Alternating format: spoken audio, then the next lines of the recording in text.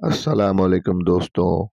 इस कहानी में हमें एक सबक मिलता है कि कभी किसी को नाजायज़ तंग नहीं करना चाहिए, क्योंकि ऐसा करने से किसी की दिल आज़ारी होती है, जो कि किसी की बददुआ का सबब बन सकती है। ये कहानी एक छोटे बच्चे टिंकू की है। टिंकू बहुत शरारती बच्चा था। स्कूल और मोहल्ले का हर छोटा बड़ा इसकी शरारतों से तंग था।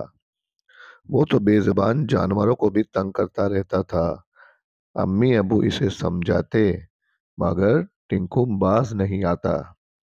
आज जब वो अपनी छोटी बहन नाजिया को तंग कर रहा था तो इसने गुस्से में टिंकू को धक्का दे दिया।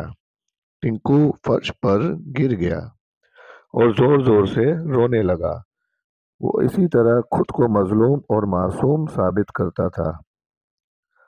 इसके रोने की आवाज़ सुनकर इसकी दादी अम्मा अपने कमरे से निकली और रोने की वजह पूछी। तो टिंकू ने झूठ बोलकर खुद को बेकसूर साबित कर दिया।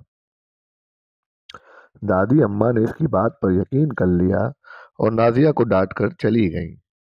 नाजिया एक अच्छी और समझदार लड़की थी। वो खामोश रही और अम्मी को असल बात बता दी। शाम को जब टिंकू घर से बाहर निकला, गली में गया तो अचानक इसकी नज़र एक बिल्ली पर पड़ी, जो अपने दो बच्चों के साथ वहाँ से गुजर रही थी। इसे देखते ही टिंकू की आँखें शरारत से चमकने लगी। इसने जल्दी से ज़मीन से पत्थर उठाए और ताक ताक कर बिल्ली को मारने लगा। दो चार पत्थर बिल्ली को लगे और एक पत्थर बिल्ली के छोटे बच्चे को भी लगा तो वो तीनों खौफजदा होकर भाग गए। अम्मी ने इसे कई बार समझाया कि बेजुबान जानवरों को तंग ना किया करो। ये बात अल्लाह ताला को पसंद नहीं। मगर टिंकू ये बातें कहाँ समझता था?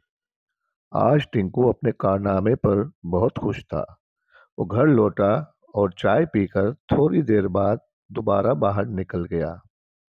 अभी इसने गली में कदम ही रखा था कि एक तेज रफ्तार साइकिल से टकरा कर ज़मीन पर गिर पड़ा। इसके हाथों और पैरों पर चोट आई और जख्मों से खून निकलने लगा। टिंकू दर्द की शिद्दत से रो रहा था। साइकिल सवार की कोई गलती न थी, बल्कि टिंकू ही कसूरवार था। वहाँ मौजूद लड़कों ने इसे उठाया और इसके घर ले गए। टिंकू को अपनी अम्मी की बात याद आ गई, जिन्होंने इसे बेजुबान जानवरों को तंग करने से मना किया था। अबू फ़ौरन इसे अस्पताल ले गए और मरहम पट्टी करवाई। टिंकू को अपनी गलती का एहसास हो गया था। घर आने के बाद इसने अम्मी से कहा, आप ठीक कहती थी। आज मैंने बेजुबान, बिल्ली और इसके बच्चों को पत्थर मारे थे। इसने मुझे बददुआ दी होगी। और ये इसी की सजा है।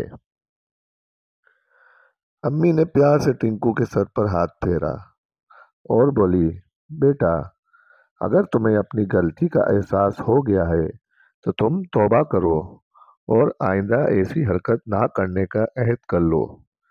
अल्लाह बहुत रहीम है, वो तौबा करने वालों को माफ़ कर देता है। इनकी बात दुरुस्त थी। टिंकू ने सच्चे दिल से तौबा की और अम्मी से वादा कर लिया कि वो कभी किसी को तकलीफ़ नहीं पहुंचाएगा। तो प्यारे दोस्तों, इस कहानी से हमें यह सबक मिला कि बिला वजह कभी किसी को तंग नहीं करना चाहिए, क्योंकि किसी की बददुआ अगर लग जाए तो इंसान के साथ कोई भी हादसा पेश आ सकता है। कहानी अच्छी लगी हो तो चैनल को सब्सक्राइब कीजिएगा, लाइक कीजिएगा और शेयर कीजिएगा।